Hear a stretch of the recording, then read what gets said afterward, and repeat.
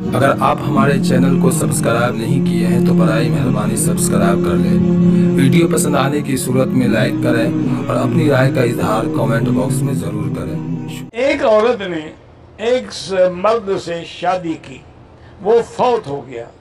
फिर दूसरे से शादी की, वो भी फौत हो गया। इसलिए तीसरे से की, फिर चौथे से तो क्या जन्नत में उस औरत को सब मर्द यानी खामद मिलेंगे? मेरा भाई एक मर्द तो चार औरतें रख सकता है, लेकिन एक औरत चार खामद नहीं रख सकती। एक उसूली बात वरना दुनिया में भी अल्लाह छुट्टी दे देते कि जैसे मर्द चार औरतें रखता है और अभी चार खामद रखे। हिकमतें हैं उसमें कि अगर बच्चा हो तो फिर किसका होगा? इसीलिए याद रखें कि जन्नत में भी वो औरत उसी खामद को मिलेगी जिसके निकाह में फौत होगी। अब चौथे के निकाह में फौत हुई है तो उसी को मिलेगी। पहले तीन को क्यों मिले? वो तो पहले फौत हो गए।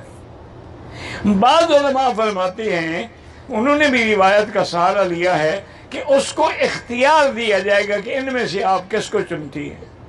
वो जिसको पसंद करेगी, उसी को हवाले की लेकिन असल कौल यही है कि जिसके निकाह में फौत होगी, उसी की बीवी बनेगी। कुछ औरतें कहती हैं कि पर्दा तो ठीक है, लेकिन 40 साल के बाद, यानी जब बूढ़ी हो जाएगी, फिर ये पर्दा शुरू करेगी। जवानी में ये लश्कारे मारेगी लोगों के सामने।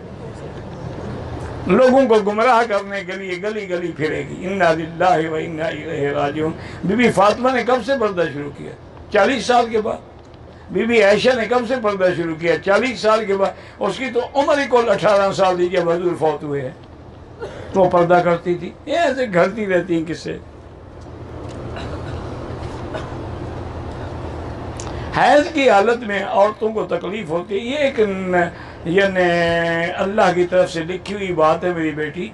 बाद ने एक रिवायत नकल की है। मुझे उस रिवायत के एतबार तो नहीं है, लेकिन किताबों में है कि जब हज़रत आदम निकले तो निकलने का सबब तो बीबी हवा बनी ना।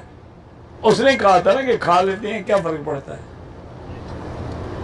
तो अल्लाह ने फरमाया कि अच्छा हवा तुमने आदम को बहकाया है ना, मैं भी तेरी बेटियों को क्यामत तक दर्द में मुब्तला कर कि वो भी हैज़ में और निफास में दर्द भुगतती रहेंगी। ये तुम्हारी सजा उनको भी मिलेगी। तो ये एक नेचुरल बात है, कोई बड़ा मसला नहीं है, लेकिन बहरहाल सूरत फातिहा पढ़ के दम करके रख लो पानी चूँकि हैज़ में तो नहीं पढ़नी। तो पहले से यह खावन पढ़ के दे दे, वो पीता, पीती रहे इन तकलीफ़ नहीं होगी।